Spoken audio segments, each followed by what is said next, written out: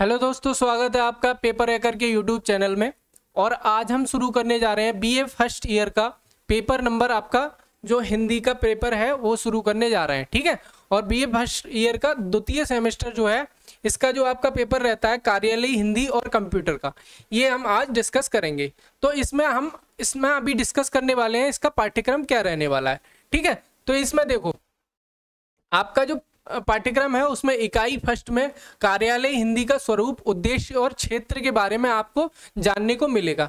इसमें आपकी क्या क्या रहने वाले हैं टॉपिक कार्यालय, हिंदी की संकल्पना, उद्देश्य और क्षेत्र।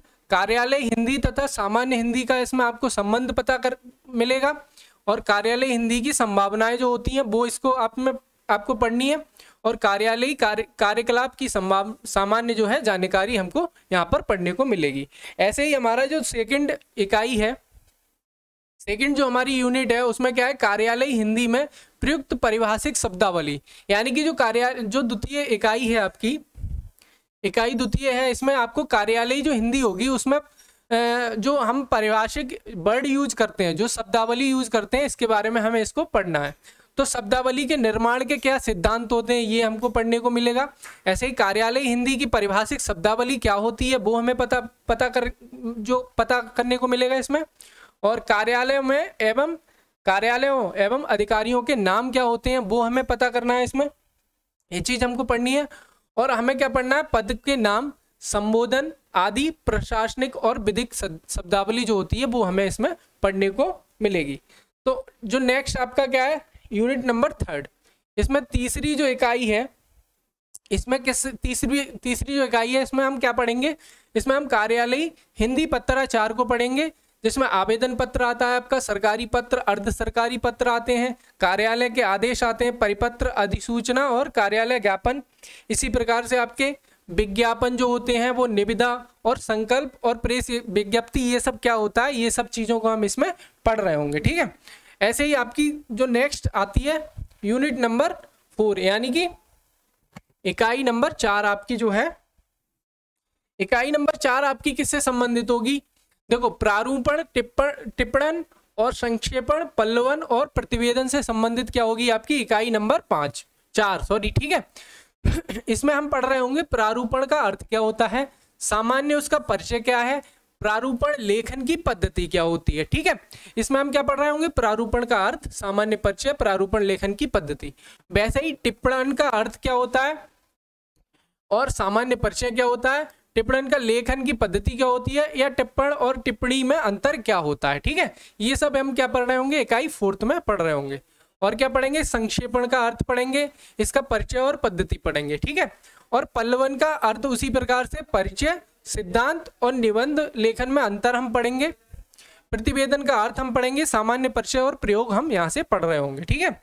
नेक्स्ट जो हमारी यूनिट है नेक्स्ट आपकी इकाई है, इकाई नंबर पाँच। इकाई नंबर पाँच जो है हमारी, उसमें हम क्या पढ़ रहे होंगे? इकाई नंबर पाँच में हम पढ़ेंगे हिंदी भाषा और कंप्यूटर का विकास क्रम। ठीक है? हिंदी भाषा और कंप्यूटर का जो विकास है, वो क्रम हम पढ़ रहे होंगे। इसमें हम कंप्यूटर का सामान्य परिचय पढ़ेंगे और कंप्यूटर का इतिहास क्या था, वो पढ़ेंगे। कंप्यूटर में हिंदी भाषा के विकास का इतिहास क्या था, वो चीज़ हम पढ़ेंगे। कंप्यूटर में हिंदी का भविष्य क्या था, ये चीज़ हम पढ़ेंगे। नेक्स्ट हम क्या पढ़े, पढ़ रहे होंगे इसमें? जो हमारी यूनिट है, ठीक है? छठी जो यूनिट होगी, इसमें हम पढ़ेंगे हिंदी भाषा में कंप्यूटर का प्रौद्योगिकी, ठीक है? तो इसके अंदर कौन कौन से टॉपिक आपको पढ़ने के मिलेंगे? पढ़ने के लिए मिलेंगे, वो है इंटरनेट और हिंदी, ठीक है? ईमेल हिंदी में उपलब्ध सॉफ्टवेयर और वेबसाइट कौन कौन सी है? हिंदी से संबंधित विभिन्न जो वेबसाइट है, वो आपको पढ़ने को यहाँ पर मिलेंगी। सोशल मीडिया पर हिंदी लेखन कौशल क्या है, ये चीज़ भी हम यहाँ पर पढ़ेंगे। और जो अगली हमारी यूनिट है, सातवीं यूनिट सातवीं यूनिट में हिंदी भाषा और ई शिक्षण हम पढ़ रहे होंगे, ठीक है?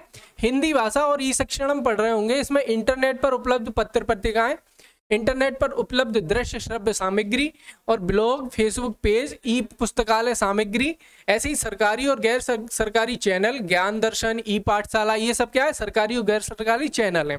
तो इन सब के बारे में हम क्या है? यूनिट जो है, आपकी साथ में पढ़ रहे होंगे। ऐसे ही एक यूनिट और है आपकी लास्ट यूनिट है ये आपकी यूनिट नंबर आठ। यूनिट नंबर आठ में आप क्या पढ़ेंगे?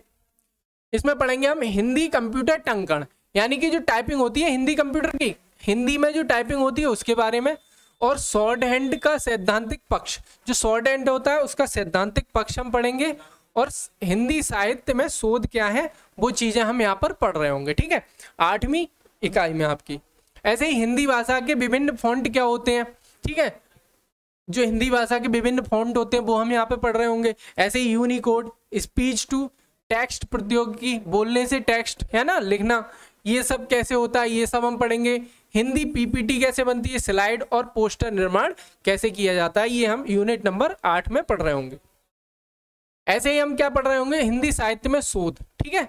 हिंदी साहित्य में शोध हम पढ़ रहे होंगे। शोध के प्रकार क्या होते हैं? साहित्यिक शोध का उद्देश्य क्या होता है? अब देखिए, जो बी ए फ़र्स्ट ईयर है, उसका जो सेकेंड सेमेस्टर है, इसमें क्या है? इसको हम, हमने किससे कवर किया है? इस वाले पूरे पेपर को हम ऑप्शनल से ये सारी यूनिट जो है, हम कवर करने वाले हैं।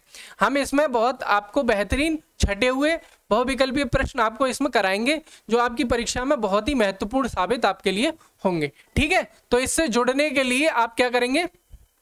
इस बारी पूरी प्ले लिस्ट को आप फॉलो करेंगे, ठीक है? ये आपका जो था सिलेबस था, इसके बारे में मैंने आपको बता दिया है। अब इसकी जो यूनिट वाइज हम क्या है वीडियो बनाएँगे और उसके जो है लगभग फिफ्टी हंड्रेड जो भी क्वेश्चन रहेंगे, वो आपको कराए जाएँगे, ठीक है? उसके थ्रू आपका पूरा टॉपिक कवर कराया जाएगा, ठीक है? धन्यवाद।